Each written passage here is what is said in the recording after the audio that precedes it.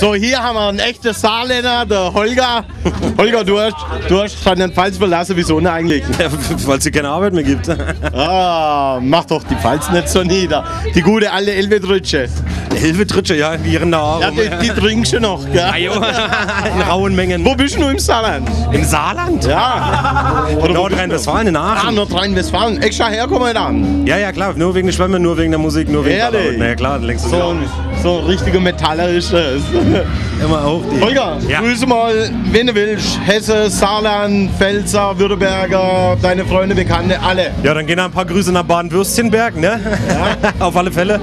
Ups, da macht jemand hinten durch. Ja, ansonsten, ich weiß nicht. Es sind zu viele Leute. Komm her, Enzi, du kannst auch noch ein bisschen, ne?